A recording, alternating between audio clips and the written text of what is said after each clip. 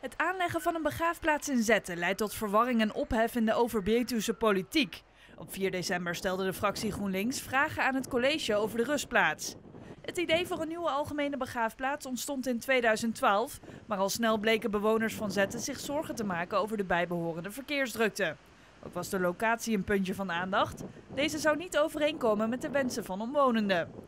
Op dit moment is er nog geen nieuwe rustplaats.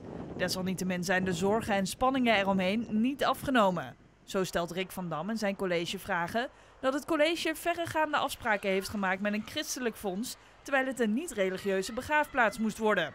Ook stelt hij dat het college een schriftelijke toezegging aan de Zettense scouting niet nakomt.